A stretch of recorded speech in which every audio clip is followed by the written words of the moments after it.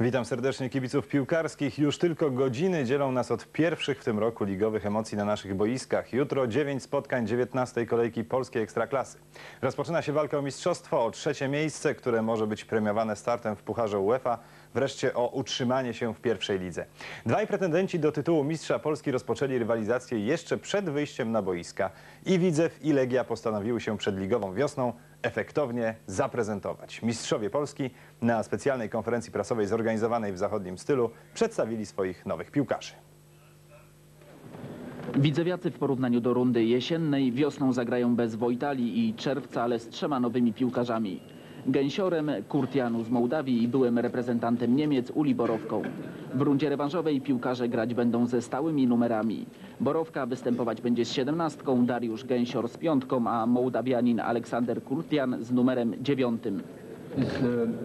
Chance To nie jest przypadek, bo kiedy człowiek ma szansę z trzeciej ligi niemieckiej trafić do drużyny, która już znalazła się i miejmy nadzieję nadal będzie grała w Lidze Mistrzów, to nie ma się nad czym zastanawiać. Borowka musi najpierw poznać e, i trochę języka, i e, trochę nasz, e, stylu naszej gr, gry. Musi jeszcze trochę szybkościowo być doprowadzony do stanu i na pewno nie jest wykluczone, że nie wystąpi przeciwko ŁKS-owi, ale raczej następnych spotkaniach Uliborowka będzie u nas grał. Mołdawianin Kurtian jeszcze nie tak dawno był bliski podpisania kontraktu z niemieckim pierwszoligowcem VfB Stuttgart. W pierwszym sparingu w Stuttgarcie przytrafiła mi się kontuzja i dlatego nie doszło do podpisania kontraktu pomiędzy mną i niemieckim VfB Stuttgart. Wcale jednak tego nie żałuję. Tymczasem warszawska Legia na dwa dni przed pierwszym w tym roku meczem zorganizowała specjalną galę. Podczas wczorajszej uroczystości legioniści chwalili się jednak nie tylko pozyskaniem nowych piłkarzy. Prezentacja nowego przedsiębiorstwa, jakim od 12 lutego jest sportowa spółka akcyjna Legia Deu, poprzedziła konferencja prasowa władz spółki. Klub Legia wraz z firmą Deu FSO mają w niej po 30% udziałów, holding Polmot resztę.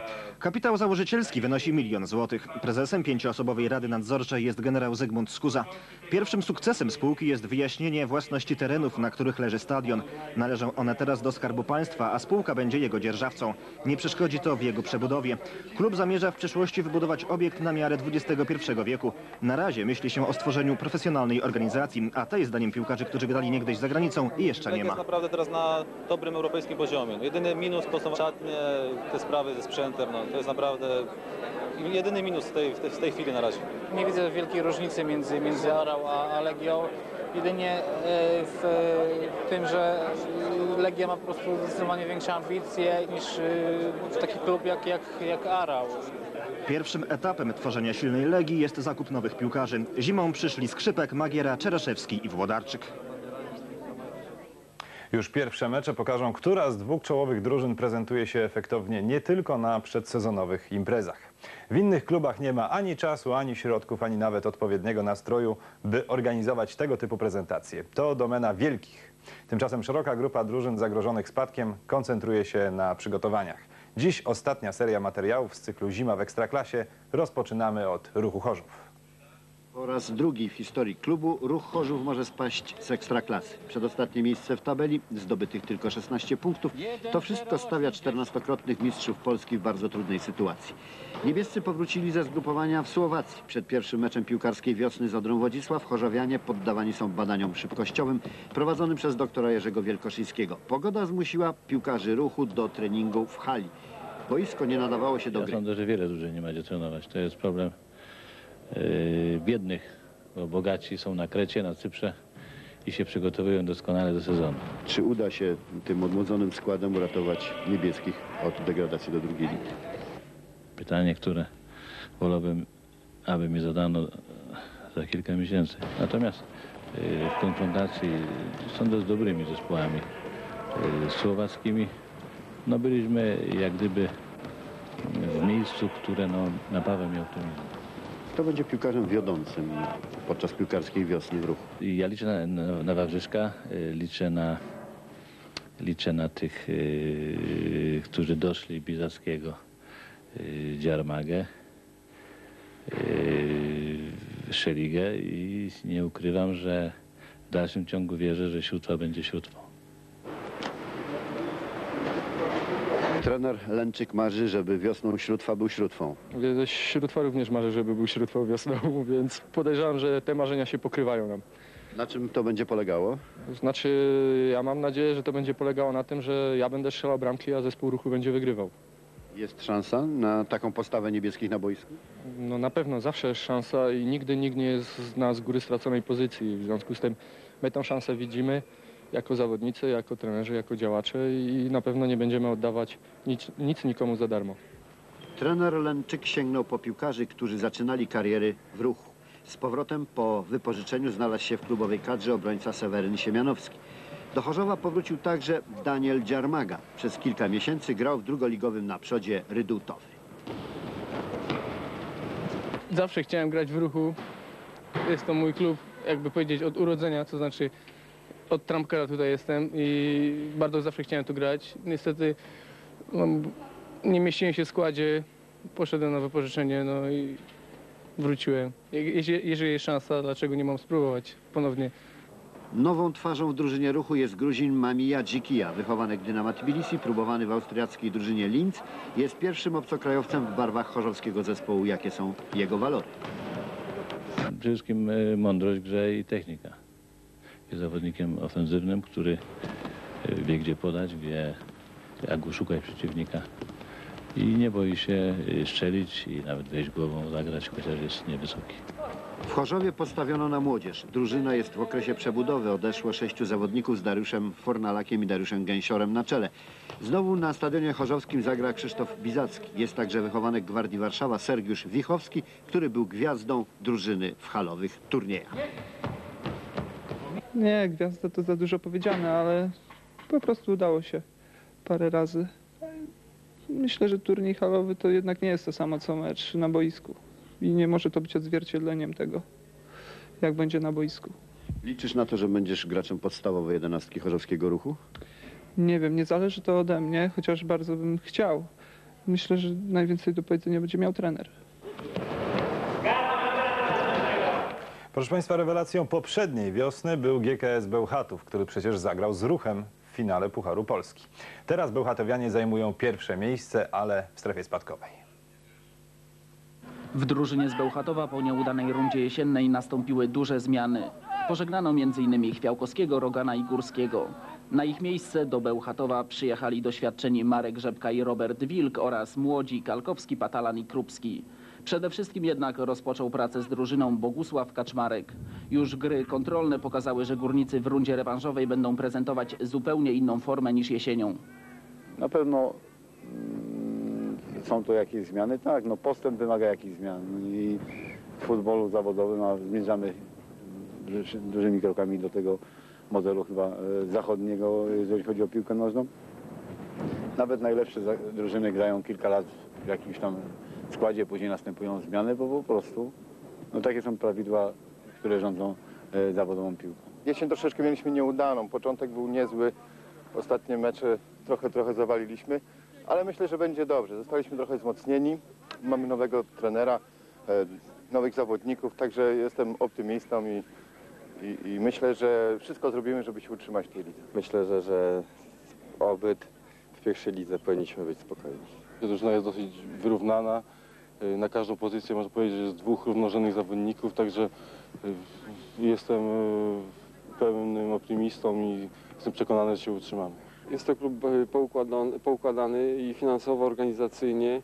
Jest trener Kaczmarek, którego już znam od dłuższego czasu i jego warsztat trenerski znam, także jestem pewien, że GKS się utrzyma w tym sezonie w pierwszej lidze. Jeśli ten skład będzie taki jak jest w przyszłym sezonie, może wzmocniony jednym, dwoma zawodnikami, e, ma szansę powalczyć o wyższe cele. A czy w tym sezonie nie będzie tak, że GKS stać na sprawienie niespodzianki? Mam na myśli mecze z Widzewem i z Legią i urwanie tym naszym potentatom ligowym punktów. No nawet ten ostatni sparring pokazał, że, że drużyna już e, coraz lepiej się rozumie i jest bardziej zgrana. I myślę, że na wiosnę na pewno my się Legii ani Widzewa nie obawiamy i będziemy na pewno walczyć do końca i myślę, że nie jedną niespodziankę sprawimy jeszcze w tym sezonie. Ja chciałbym, żeby, żeby yy, grą zespół przyciągnął jak największą ilość yy, kibiców w tych klubach, gdzie do tej pory yy, pracowałem, czy w Olsztynie, czy w Tychach. Yy, Mieliśmy wspaniałą publiczność. Zaczynało się od, jak w Olsztynie przychodziło 2000 ludzi, jak odchodziłem przychodziło 16-17 tysięcy ludzi. Zespół musi grać widowiskowo, musi pokazywać, że nie lekceważy ludzi, którzy przychodzą ten, e, to widowisko e, sportowe oglądać. Musi, powtarzam, w dalszym ciągu zadbać o to, żeby przywrócić zaufanie kibiców. Pełni optymizmu są również kibice GKS-u Bełchatów, którzy przybywają licznie nawet na treningi swoich ulubieńców. My nie możemy żyć teraz bez pierwszej ligi, tak, tak nam wpoili to, że wie pan, jest, ja jestem takim optymistą, że nie dopuszczam takiej możliwości, żebyśmy spadli z pierwszej ligi. No. Był tutaj sparring z Legią, po prostu, który żeśmy wygrali i na tle Legii prezentujemy się całkiem nieźle. Zaledwie punkt więcej od Bełchatowa zgromadził zajmujący 14 miejsce w tabeli Sokół Tychy. Zimowe przygotowania w tym klubie nie przebiegały chyba w najlepszej atmosferze, skoro w prasie często pisano o wewnętrznych konfliktach. Na dodatek piłkarski Sokół może się stać Sokołem wędrownym, bo klubowi grozi kolejna przeprowadzka. Wiosną Tyski Sokół bronić będzie statusu pierwszoligowca. Czy takie zadanie uda się zrealizować po odejściu z Tychów Wyparły, Bizackiego, Wilka, Konona i Gorszkowa, dotychczas kluczowych graczy Sokoła? Jak na razie w Tychach nie zanosi się także na znaczące wzmocnienia. Obiecano mi, że dojadą tutaj piłkarze z Zimbabwe. Wiem, że toczyły się rozmowy w tym kraju i po prostu czekam na ich przyjazd. W zajęciach tyskiej drużyny uczestniczą już nowi piłkarze. Mruzek z BKS-u Bielsko-Biała, Świetlik Ząbek, Hinz i Elikowski z Sokoła Pniewy oraz Fornalak z Chorzowskiego Ruchu. O tym, czy jednak któryś z wymienionych zagra wiosną w barwach Sokoła, trudno powiedzieć. Jestem po rozmowach z, z, z działaczami Sokoła. Yy, Myśl, myślę, że, że, że warunki zostały uzgodnione, no ale tak jak mówię, na dzień dzisiejszy nie została postawiona kropka nad i, i, i mam nadzieję, że stanie się to w najbliższej przyszłości, bo, bo sytuacja staje się coraz mniej ciekawa, do ligi coraz mniej czasu i yy, ja osobiście chciałbym, żeby, żeby stało się to jasne w najbliższych dniach. O ile szkoleniowiec Sokoła może być spokojny o defensywę i pomoc, o tyle obsada bramki i ataku pozostawia wiele do życzenia. Jak na razie Krystian Schuster jest właściwie jedynym napastnikiem w tyskiej kadrze. Jeżeli taka sytuacja pozostanie, że będę praktycznie sam w tym napładzie grał, no to wtedy będzie du- duża rola spoczywała i odpowiedzialność na ofensywnych pomocnikach, którzy będą musieli też nam pomagać i te bramki strzelać. No. Bazujemy na tym, co mamy. W sumie to będzie, będą zawodnicy, którzy i- ileś tam występów mają w lidze i raczej na obronie będziemy bazować. Problem tylko z bramkarzem jest jeszcze. Dlatego, że no ani, ani Stokowy, ani Jarkiewicz nie, nie byli podstawowymi bramkarzami w swoich drużynach poprzednich i tak samo tutaj u nas w Sokole. Do tej pory defensywa i pomoc spisywały się, ja uważam, bardzo dobrze. Niestety mankament, skuteczność i na dzień dzisiejszy brak dobrego bramkarza to są duże mankamenty, ale to co mi zapewniano, że akurat na te pozycje dostanę piłkarzy i to się powinno wyrównać. Nadal problemem w Tychach są zobowiązania właścicieli klubu wobec piłkarzy. W tej kwestii zdania są jednak podzielone. Z tego co się orientuję na dzień dzisiejszy wypłaty są wypłacone, na pewno są tam drobne zaległości, wiem, że są sprawy kontraktów, ale uważam, jest to prywatna sprawa tych chłopaków i myślę, że klub z tego się wywiąże. Czy te sprawy już są poza wami, czy nadal to trwa? Dalej to trwa i nie wiadomo, kiedy to będzie wszystko załatwione. Nową kwestią, która pojawiła się w ostatnich dniach jest możliwość przeniesienia klubu po rundzie rewanżowej do Jastrzębia. Warunkiem jest pozostanie w pierwszej lidze. Na razie trenujemy w Tychach i myślę, że y, klub po prostu swoje sprawy tutaj ureguluje i będziemy grać na tym stadionie. Gdyby była współpraca i władz miasta i bogatych sponsorów czy bogatszych i plus nasz y, właściciel klubu, na pewno ta liga by to była spokojnie i, i, i tylu chłopaków, co się dobrych przewinęło przez te dwa lata, jak ja tutaj jestem, utrzymać tych zawodników, to mielibyśmy na trójkę drużynę spokojnie. Nawiązując do tego materiału, Dariusz Fornalak już podpisał kontrakt z Sokołem Tychy. Proszę Państwa, wiemy już jak do rundy wiosennej przygotowani są piłkarze. Teraz pora zająć się obiektami. Rok temu sroga zima naraziła wiele klubów na wydatki związane z rekonstrukcją zniszczonej murawy. Teraz zima nie dała się nam tak we znaki, ale kluby nauczone przykrym doświadczeniem zaczęły lepiej dbać o boiska. Zapraszam na raport ze stadionów, na których odbędzie się 19. kolejka. Nasi reporterzy zwracali uwagę nie tylko na stan murawy. Na dzień przed inauguracją wiosennych rozgrywek murawa stadionu GKS-u Katowice zachęca do gry.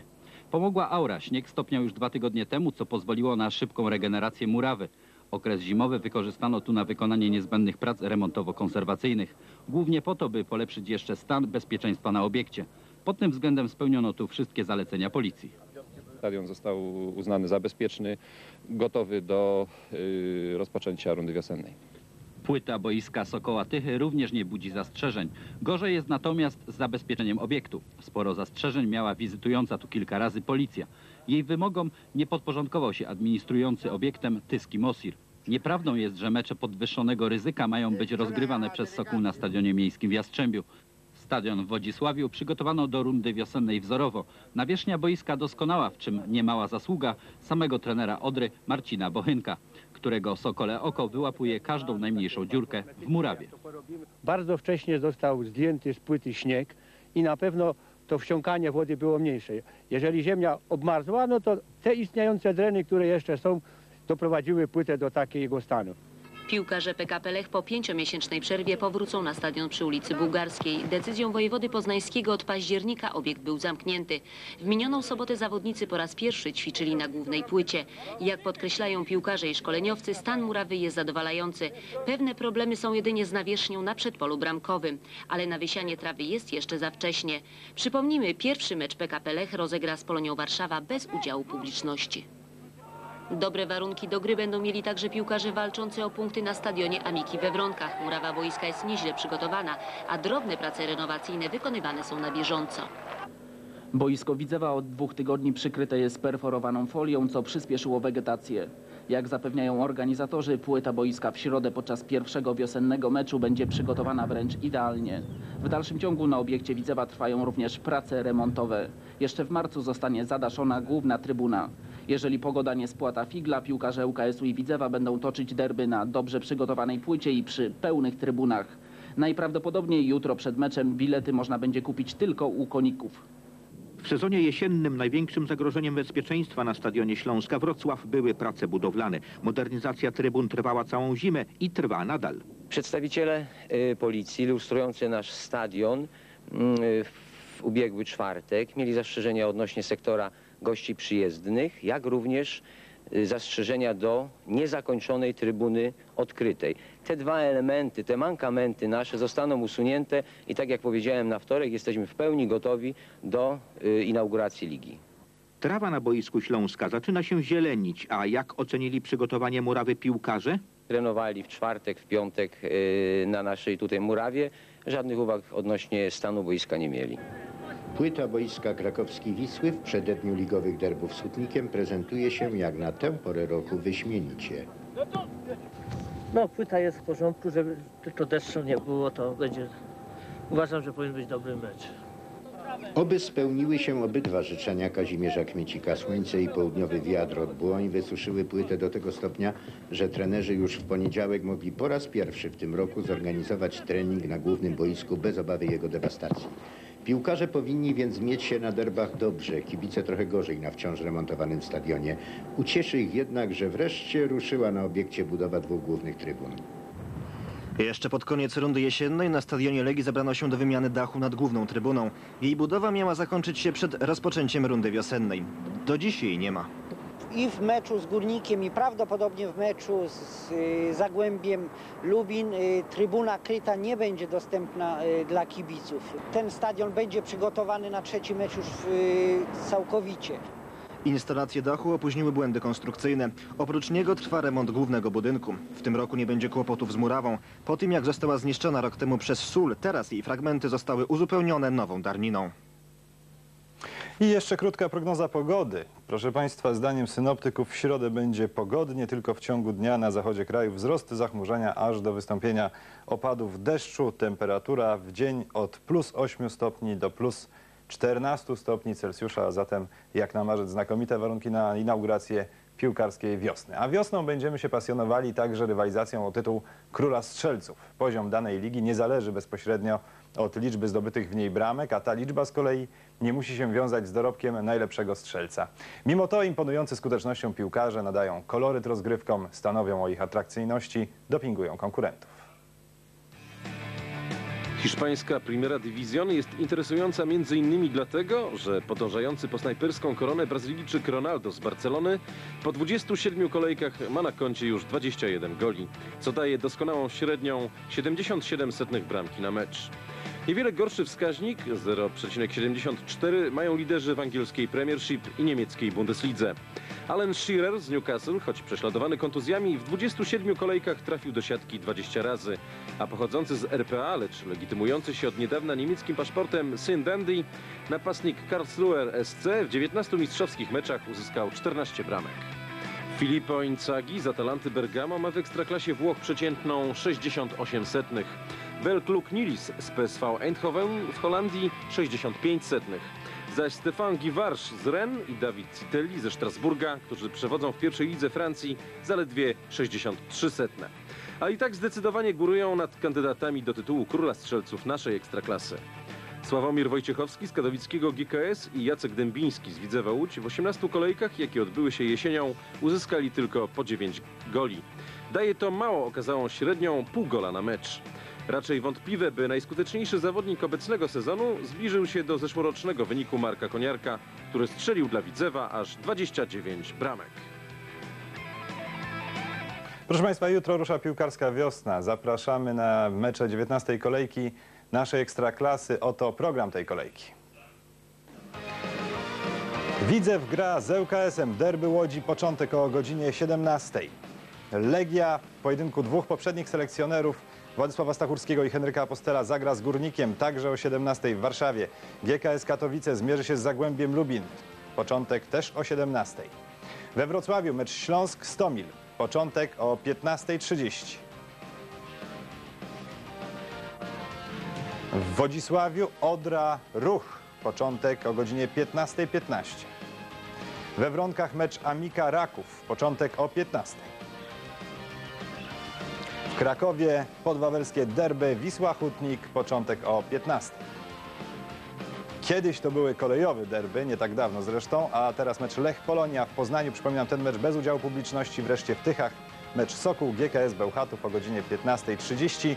A w tym tygodniu także wznowione są rozgrywki europejskich pucharów. Jutro pierwsze w tym roku spotkanie z Ligą Mistrzów. Z ćwierćfinałów wybraliśmy dla Państwa mecz Manchester United, FC Porto. Początek relacji bezpośredniej o 20.10 w programie drugim. Skróty pozostałych spotkań o 23.30